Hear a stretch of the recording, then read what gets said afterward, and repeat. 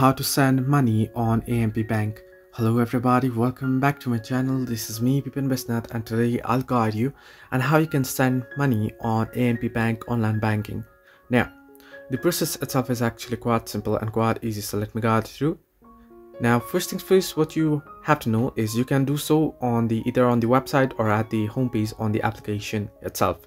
You can head into www.amp.com.au or you can simply do it on the AMP Bank online banking application. Now, if you want to do it on application or you want to do it on the website, the process is similar. You want to first log into your account. Once you're logged in, at the home page, as you can see here on the screen, the bill pay transfer and deposit option, right? You want to simply tap on transfer. And once you tap on transfer, it'll ask you to enter in the certain details of the trans account that you wish to transfer and the amount that you wish to transfer. And once you enter in the necessary information and verify there, you'll be able to send money easily. So this way you can send money on AMP Bank. Hope this helped you. Do like and subscribe and do not forget to leave a comment down below if you have any further issues.